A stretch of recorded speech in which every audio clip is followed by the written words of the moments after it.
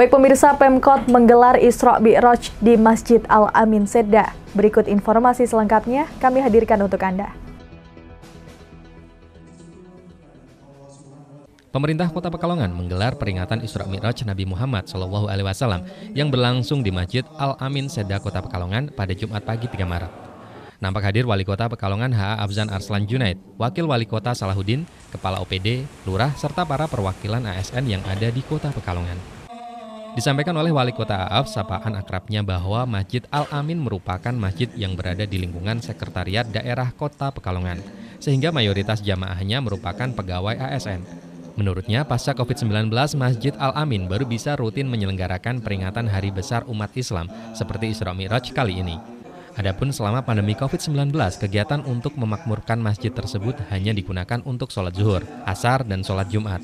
Sementara kegiatan lainnya yaitu kurban saat Idul Adha yang rutin diselenggarakan selama dua tahun ini. Pada pagi hari ini di Masjid Al Amin, pemerintah Kota Pekalongan kita mengadakan peringatan Isra Mi'raj. Yang ini memang uh, pemerintah Kota Pekalongan kan punya masjid kan, yang digunakan untuk sholat uh, duhur dan asar dan uh, sholat jumat. Dan kegiatan-kegiatan yang lain juga kita dorong semacam uh, korban ya.